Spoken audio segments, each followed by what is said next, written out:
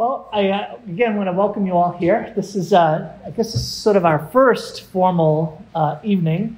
I'm going to start with one cute story, and then I'm going to start with a more profound thing. This is uh, kind of getting at why are we here? What are we doing here? Why are why are we here at all? And the answer is we felt compelled. Like the, the, the Lord is saying, get together, my people, and turn in prayer because people are hungry. Catholics are hungry. We want to go deeper. We want to go deeper into our faith. Cute story. It is just cute, okay? It's not profound. It's just cute. Um, something I've learned or heard along the way. Uh, story is, uh, you know, here's a, a mom comes in and, and, sees one of her kids vacuuming the living room. The, the rug is all dirty, right? And it's like, first of all, that's a miracle. And uh, this teenager and the mom was watching and, and saying, What are you doing? Says, I'm doing my job. I'm, I'm vacuuming the, the, carpet. And she says, But you're just moving dirt around. Says, well, I've got it turned on. Yeah, but it's not plugged in. okay, I told you it, was just, it wasn't profound, it was just cute. All right? And uh, I'm not claiming it as my story, but it, it actually is quite a poignant story a lot of Catholics doing Catholic stuff. But all they're doing is moving dirt around. And they're wondering why their lives aren't getting cleaned up. They're wondering why things aren't getting better. And the answer is they're not plugged in. They're not plugged into the source of power that the Lord has given to the church. The source of power that the Lord has given to the church to be able to clean up the dirt, to be able to actually transform our whole lives. That's the Holy Spirit. So, all the talks that I'll be giving, these sort of short little teachings, are all geared towards us growing in the power of the Holy Spirit that has been given to us.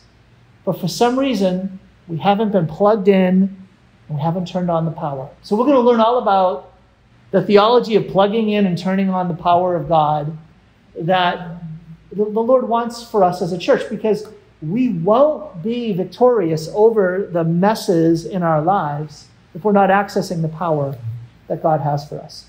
Okay, something a little more profound now. I'm going to go all the way back to St. Bonaventure. He is the seventh minister general of the Franciscan order, so after St. Francis, 13th century. And he um, uh, wrote to the superior uh, the superiors of the different um, Franciscan communities, the friaries around the, the world at the time. And he wrote a book to guide them in forming faith in their communities. It's called The Six Winged Seraph, if you're interested in looking it up. In it, he talks about three enemies of spiritual growth, right? Not the world, the flesh, and the devil, but I want you to hear these three enemies of spiritual growth, and then you're going to share among yourselves which of those three enemies struck you the most as being relevant for today? Okay? So we're going to learn from a doctor of the church, St. Bonaventure, as well as from a recent saint, St. John Paul II, who identified as well these three enemies of spiritual growth. Okay? The way that Bonaventure describes them uh, is the following he calls them diversion, distraction, and dispersion diversion, distraction, and dispersion. John Paul II picks it up in a document on the preparation for the church entering the third millennium. Okay? Tertio Millennio Adveniente. In it, he talks about these three enemies that would stop the church or hold the church back from accessing the grace of Jubilee that the Lord was offering the church. And he called them infidelity, inconsistency, and slowness to act. Ooh, these are powerful. So let's take a look at those three, and then I'm going to have you share with two people, two other people, so little groups of three of you, about which of those three is like striking home the most for you. So remember now, Bonaventure, diversion, distraction, dispersion. Diversion is what John Paul II called infidelity. So, diversion are the ways in which we're stopped from growth in the spiritual life through the temptation to sin, through the actual giving in to sin in our lives. So, when we think about what's holding us back, well, we're stuck in sin. or we're facing harassing, oppressive, obsessive temptations that we give into, and that obviously holds us back. So we can think about the ways in which we as a church or we individuals are held back from spiritual growth through diversion. Second is, what was the second one? You were distracted and you didn't remember. You're taking notes. I Now Anne's just flexing. She's sitting closest to the front and taking notes. This is good. She's focused, which is the opposite of distracted. So distraction isn't so much like the direct temptation to sin. It's you get up in the morning and something inside of you says, I should pray. And then you're like, no, wait a minute. I need to make the list of things I'm doing today. Or there's this really interesting news item that I need to watch and follow on, on, uh, on my phone. Or maybe just anything else that says, let me get distracted from what I ought to be doing. So it's those time wasters, those time sinks that just rob us of spiritual growth. John Paul II calls that inconsistency. So infidelity is the diversion that will take us away from God. When we are distracted, we are inconsistent. I want to do these things, but I'm just not doing them. Now, what's the third one? Diversion, distraction, and dispersion. Now, dispersion isn't so much a time waster, it's when I want to do this good thing, let me start doing that. Let me do this other good thing, let me do this other good thing. And then all of a sudden, the many, many good things rob us from doing the one thing that God wants us to do. I'm called to do this, but instead I'm so dispersed that I end up losing the focus and attention and energy I need to do the good thing that God wants me to do. Ooh, we're so dispersed that our energy is all spread out. John Paul II calls that slowness to act. Whoa, which is a surprise because you'd think, well, no, this person's so busy that they're doing many things. No, no, no. What's happened is you don't have the ever I don't have the energy to pray tonight. Mm-hmm. Or I want to get to that person, but I can't because I'm so busy with the other good thing. Mm-hmm. Bonaventure and John Paul identify these things mm-hmm. as enemies of spiritual growth. Okay, diversion, distraction, dispersion, infidelity, inconsistency, slowness to act. Think about that and just share, you know what, of these three, this one really struck me. Okay? And then we'll come back. Okay, great. So, continuing on, um, do you have a personal relationship with the Holy Spirit? Ooh, what an interesting question. Do you have a person, not with Jesus, do you have a personal relationship with the Holy Spirit? 1984. Someone asked me that question. Okay? What was the context? Well, I was in the seminary, so studying to be a priest, first year, and I got connected with a contemplative nun. She was living a cloistered life. The community was a cloister for those whose mission was to undergo disabling suffering for the fruitful good of the church. Who wants to join that community? right? In order to get in, you had to have a disabling suffering and live a cloistered life of prayer and undergoing the trial and the pain of your condition to offer that up for the redemption of the world. Wow. That's the kind of person you want to be connected with. Her name was Sister B, and I got connected to her through another seminarian. And Sister B said, I'm going to pray for you, Tom. And she wrote me this little note.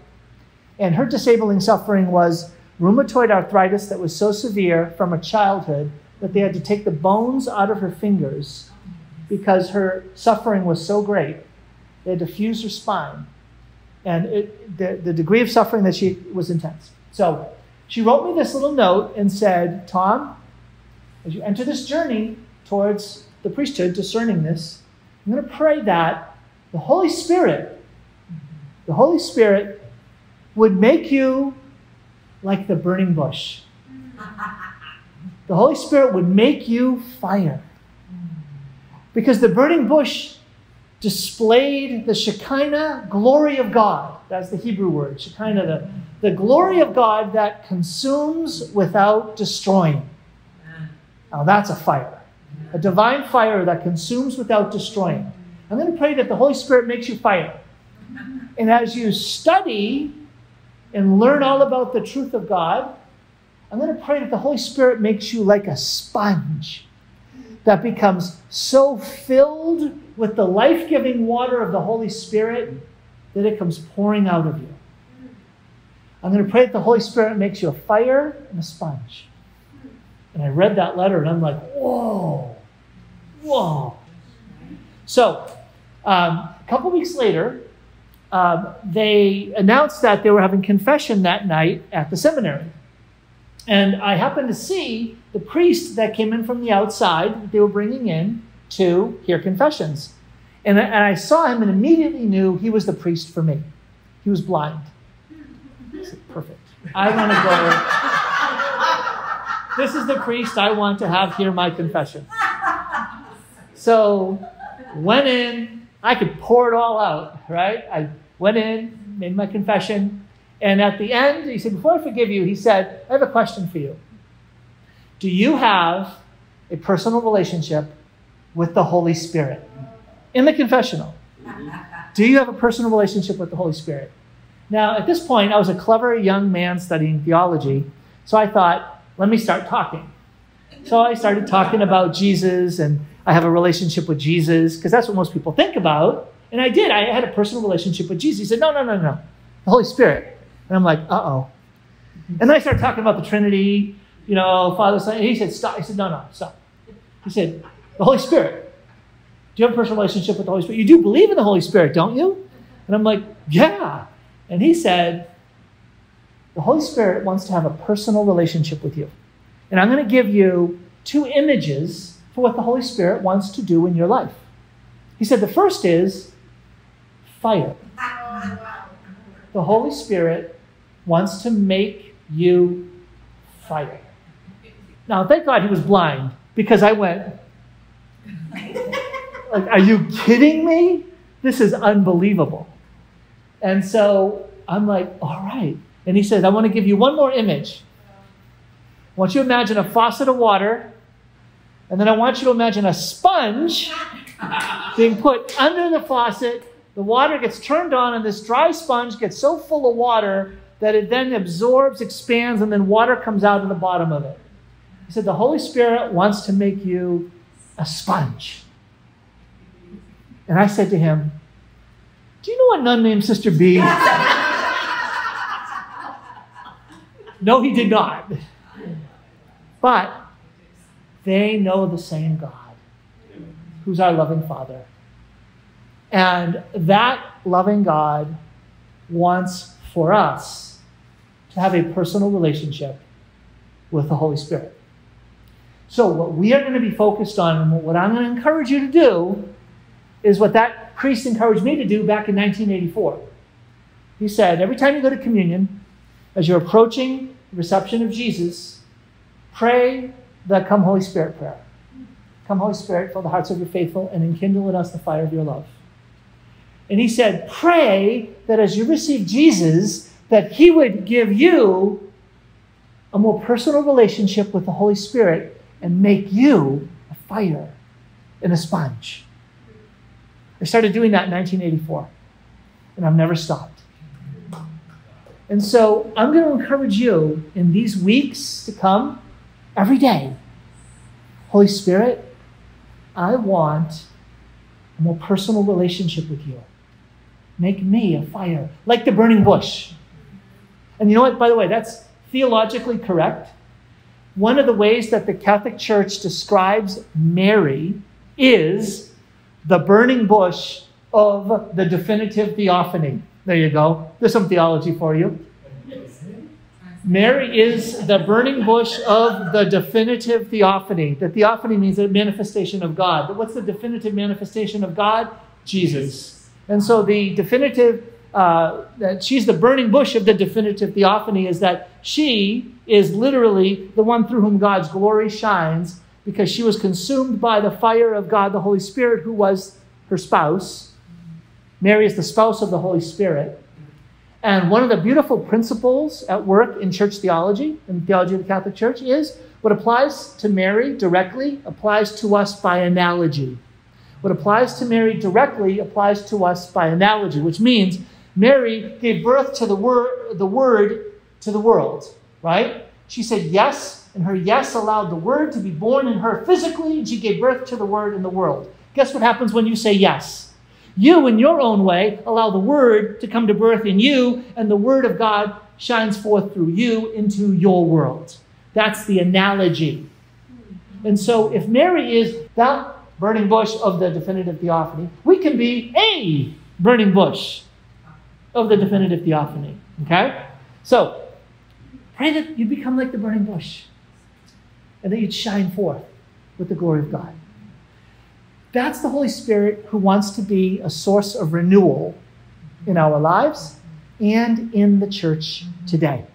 Okay? Now, let's take a look at that idea of source of renewal. This brings me to John Paul II. St. John Paul II was a bishop at the Second Vatican Council. Did you know that? He was the Archbishop of Krakow, sent to the Vatican Council, 62 to 65, participated in all these sessions. All these 16 documents were released. He goes back to Krakow and says, We have to take these documents, we've got to enflesh them in the diocese. We've got to take all of these beautiful teachings, we've got to make them alive to be a source of renewal in the church in Krakow. And so he wrote a book called Sources of Renewal on the implementation of the Second Vatican Council. Ta da! Now, the key to this whole book is the first chapter. In the first chapter, he describes the foundation for what it takes to have a source of renewal come from the church's teaching. And what he says is this He says that when we think about bringing renewal to our lives, having renewal happen in our lives, we think about doing stuff. Let's go do these things. And he said actions are important. But he said more important than actions are attitudes. Because actions display attitudes. Did you know that? Do you have a teenager? Actions display attitudes, right? They're not just neutral. So, actions are what you're doing, attitudes are how you are relating to what you're doing. So, attitudes are more fundamental than actions. But he said, even more fundamental than attitudes is awareness, or what he says is consciousness, or how you see something. Because guess what shapes your attitude? Guess what shapes how you relate to something? How you see it. How I see something shapes how I relate to it, and that manifests itself in my behavior. Awareness, attitudes, actions. Awareness, how I see, shapes how I relate, my attitude, and that manifests itself in how I behave. Source, if we're going to be a source of renewal in the church today, should we focus on transforming our awareness, our attitudes, or our actions? Yes. Yeah. It's all of the three, all of the above. But John Paul II makes a big point in Sources of Renewal that if we're going to experience real renewal in the church, it can't start and simply focus on what we're doing. That is not going to go deep enough. It's not going to go deep enough. Okay, I'm going to give you an application to this. Okay? And the application has to do with the idea of overcoming sin. Okay? What's another way of describing sin? It's when we settle for less. It's when we betray a relationship with the Lord. It's when we fall short of God's glory. It's, yes, breaking God's law, but it's breaking God's heart. When we want to overcome sin, John Paul II says awareness, attitude, and action. There are three levels of experience conversion from sin. What are these three levels? Well, let's start at the level of action. When you think about, I've committed a sin, think about a misdeed that you've done, thought, word, or deed. What is conversion looking like? Repentance. God, I am so sorry. So, when it comes to conversion at that level of action, it's when we learn how to repent. Lord, please forgive me. I am so sorry. I repent of that deed. Okay, that's great. We got that. We all understand that. What about attitudes? When it comes to attitudes, an attitude is something that's more like the atmosphere that you carry about with you. So you're not really repenting of something that is just how you're relating to something. So, how you relate isn't requiring repentance, but rather, what the church says is, you're asked to renounce. Renunciation. I renounce this entire way of relating to money. I renounce how I'm relating to time. I renounce how I've related to you. So you think about it, and it's like, I don't always commit the misdeed of speaking badly to my kids, but that can be traced back to an attitude, how I'm relating to them. So if I can renounce the attitude, guess what can also break up? The actions. So remember, actions are traced back to attitudes. So the power of renunciation, renouncing something, is it can sever a connection. And so that's that second level. And the, the most profound level is what? Awareness. So, awareness, how does that relate to conversion? Well, if you look at the scriptures in the New Testament, the deepest level of conversion is called metanoia. And metanoia is a Greek word that means change of mindset. Oh, what's another word for change of mindset? Changing how I see something, how something lives in my mind. Well, how do I get a change of mindset?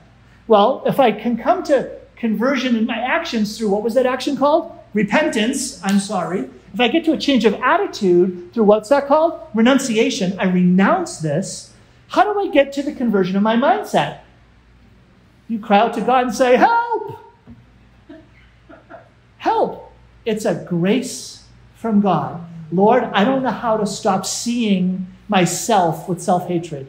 I don't know how to stop seeing this person in the light of all the things that have happened here. Lord, I am powerless. I need the grace of a changed mindset.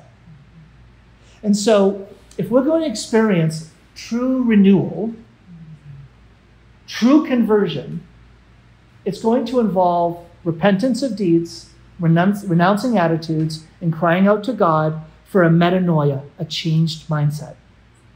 I'll pause there get you guys back into groups again and think about or share on those three types of conversions conversion of deeds through repentance, conversion of attitudes through renunciation, and conversion of mindset through crying out to Christ, transform my mind. Which of the three do you think we need to most to hear about today? Which of the three or struck you the most when you heard about them right now? Okay? Great. So I'm just going to dig in briefly into this idea of what is this idea of a call from God? Now, we've all been around the block enough to know that we're not here by accident. But let's dig a little bit further into the church's understanding of call. And I'm going to focus it in on the reality of a relationship with the Lord. If I said to you, you have a personal relationship with the Holy Spirit, well, we, we're called upon to have personal relationships with each of the persons of the Trinity. But what describes the nature of these relationships? Four words. A personal relationship with, the, with a person of the Trinity is to be intimate, personal, profound, and vital. Intimate. It's a call into nearness. It's a call into intimacy. Second is it's personal, where you know that it's the person of the Father, and you know that the person of the Father knows you. It's profound. You don't come to a dead end and feel like there's no more. No, there's, there's a sense of the infinite. There's a greatness, there's a bigness in the relationship. And lastly, you know that you're in a personal relationship with God as Father, Son, and Holy Spirit when it's life giving. It's vital. It makes your life alive. And so we're going to just explore that briefly by talking about the three persons of the Trinity in relationship to just how close God wants to be to you in your life. How much God wants you to know his love for your life. The first is the person of the Father. And that's the foundation of all other relationships that we have is your first insight, the first idea that you should have that you're called is that you're here. It's literally the call into existence. The fact that you are is not an accident, it's His design, it's His call. The call into existence says this that to be is to be addressed by God in love. Just to be, literally, just to exist, is to be someone who's addressed by God in love. Catechism of the Catholic Church, read it, paragraph one, easy to remember, paragraph one, says that in every time and in every place, God draws close to you.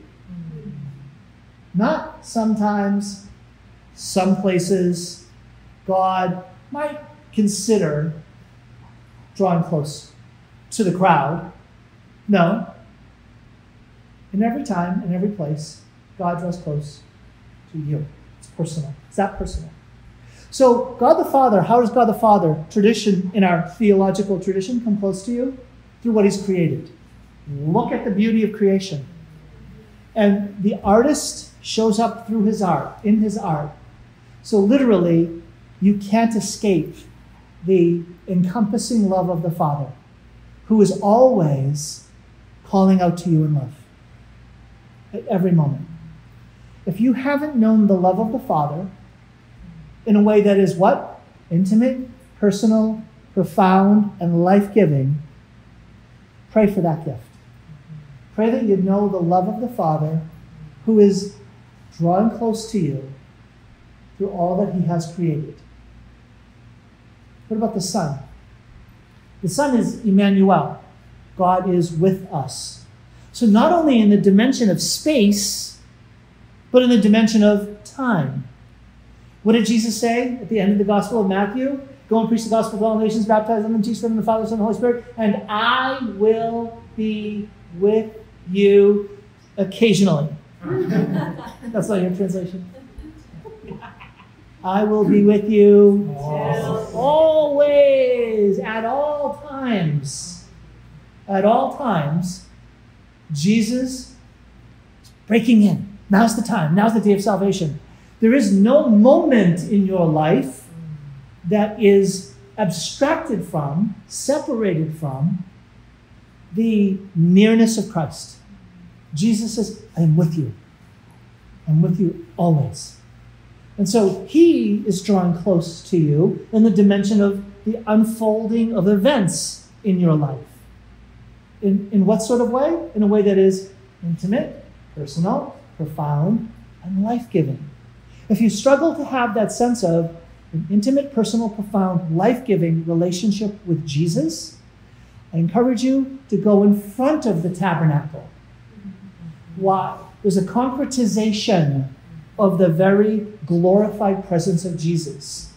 And there, in front of the tabernacle, or in an adoration chapel where Jesus is exposed in front of the monstrance, read Revelation chapter 1. Revelation chapter 1, John has an encounter with the risen, glorified Lord. When you read what Jesus, his encounter with Jesus was like in Revelation 1, his face shone at the sun at the brightest, and his hair was snow white wool, and his voice sounded like the mighty, uh, flowing of mighty waters. And when he turned and looked at him, what happened to John? He fell down as though dead. He is perfect holiness and perfect life. And in the face of perfect holiness and perfect life, it's as if my life is drained, I who am falling short. That's the Jesus that is present in the Blessed Sacrament. Read that passage, the Word of God, and say, Jesus, this is you here. Show me. Show me, Jesus. I want to have the encounter with you, Jesus, the Revelation 1 encounter. I want to have that encounter with you, Jesus, right here. Please, I'm not leaving. I long for that encounter. I need that encounter. I'm desperate. I want to know you in a more intimate, I want to have that sense of nearness. A more personal. I want to know that you know me. And I want to know you, Jesus, more profound. I want it to go deeper. And I want it to be transformative. I want it to be life giving. That's the relationship I want with you, Jesus. That's a personal relationship. And then we have the Holy Spirit. Okay, wait a minute now. We have the dimension of space and time. What other dimension is there? Spirit. That's the dimension of going within. Do you know why the devil will use dispersion so much as an enemy to spiritual growth? Because in our tradition, spiritual growth is based on the principle of concentration. Not focus, but the coming together in a more dense way. If you want to weaken your spiritual life, spread you out. Remember? You'll be slow to act. You're going to go deeper in action if you can concentrate your energies and go within. Okay, going within. Let's go within to the deepest center of the deepest center of your being. That's your heart. And you know what you find in the depths of your heart? Your I, your I, your ego, your I, your personhood. Guess what the Holy Spirit is? Within your I. There's no place you can go within you without encountering the Holy Spirit, the presence of the third person of the Blessed Trinity. So let's get this right. You go outside of you and you encounter the transcendent Father who upholds all creation and you in it. You go through the day to day existence of your life in time and you encounter Christ at every moment who's there. Try to escape by going within, and then you bump into the Spirit. You are caught. You are encompassed. You are surrounded by the presence of God that's personal and life changing. The personal presence of the Blessed Trinity, Father, Son, and Holy Spirit, who longs to reveal to you who He is as Father, as Son, and as Holy Spirit. So much so that if you live your life in accord with the Holy Spirit, we're going to learn all about that. It'll be the Holy Spirit that moves you into action where you'll encounter Christ, into the world where you'll encounter the Father. It's exciting life. That sounds like many things. It doesn't sound dull. That doesn't sound boring. It doesn't sound like a burden. But that, this kind of threefold personal relationship with the persons of the Trinity is what we're called to. This isn't extraordinary. It's not just for the saints. Unless we realize we're all called to be saints, holy ones, because the Holy One is within us. And this is our inheritance. This is our birthright. So that's why we're here. We're here to simply access what God has created us for, and not live a life as Catholics thinking that we are meant for less than an intimate, personal, profound, life giving relationship with the Blessed Trinity. Okay? All right, let's close with prayer. And then just I want to give you guys a chance to share anything that struck you about what you heard. From the Father and the Son and the Holy Spirit. Amen. Loving God, we thank you and praise you for the gift of our lives, the gift of our faith, the gift of this moment. And Lord, we ask for an intimate, personal, profound, and life giving relationship with you, Father, with you, Son, with you, Holy Spirit. Please overwhelm us with your love. Please help remove the blockages to us coming into and receiving more uh, in, a, in, a, in a more real way who you are and who you want to be in our lives. I thank you for the gift of this night. Thank you for the gift of the riches of our faith, and I pray that they would become more, uh, more real, more profoundly alive in each of us. And I make this prayer in Jesus' holy name. Amen. In the Father, and the Son, and the Holy Spirit. Amen. One last story. I meant to say this. Sister B, the cloistered nun, she told me a story about going on retreat. And the retreat master said, I want you to go and pray and come up with a one word answer to this sentence I am blank. One word. Come up with a one word answer. I am blank. She went, she prayed, she come back. What's your answer? She said, I am known. Mm-hmm. I am known. And she brought up the fact that to know or to be known had to do with the intimacy of union, that she was known by God. That was how she saw herself in the eyes of God, and known by God, who's Father, Son, and Holy Spirit. That's my prayer for you. That you'd be able to say, I am known. it was sometimes pretty good. Okay. wow. So that's you say how do like how to to uh, cloistered religious have encounters with the bigness of God? Well, they do because they move away from the external world and they're able to focus more deeply and go within themselves in order to go beyond themselves. And this actually ties back to what we talked about last week silence, solitude, simplicity. Silent solitude, simplicity is all about calming down our attachment and the desires that pull us into the external world in order to allow us to regather, to concentrate our spiritual energy, our, our focus, attention, etc., internally. Mm. Someone else, what struck you? What questions do you have? How do you relate that to our day and age of it feels like we need to take so much action Yep. right now? Yeah. So, okay, so we live in a time that focuses an awful lot on action, mm-hmm. right? Why? Action gets stuff done. But I, I mean, like, it seems that our culture is desperate for our action, too. You mean like, oh, for the church to be active in the world? Totally. Yeah. So the question becomes is the action we're taking in the world mm-hmm. just moving around the, uh, the uh, what do you call that thing? I, which I don't use very often, obviously, the, the vacuum cleaner. Right? mic has to be plugged in. it's got to be plugged in. So if we're going to go out in the world and be fruitful, bear fruit for His glory, we better be plugged in. So there, there used to be um, like a, more of a distinction between are you a contemplative order, are you an active order, going out and evangelizing. And the idea was that the contemplatives contemplate on behalf of those who are active. So we will be the fire in your engine, right? But then you had Ignatius say we should be contemplatives in action. So let's root all of our action back into a time of contemplation. You look at Mother Teresa, who said, when we're feeling busy, what do we do? Stop and go pray for an hour. Because otherwise, we're just going to be frenzied about more action, and it's not going to be traced back to the life giving source of God's strength within. That's why, again, diversion, distraction, dispersion. You get up, get distracted, you miss your prayer time, and now you're trying to do God's work without God's power, and we run out. It's only 8:30 in the morning. Ah, now we're empty.